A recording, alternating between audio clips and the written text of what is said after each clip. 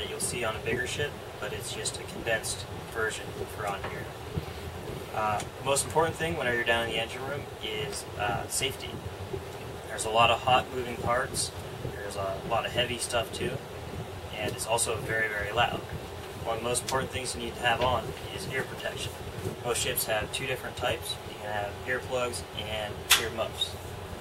Uh, thankfully, the generators aren't running right now, so it's not very loud and we can talk in a nice, quiet manner.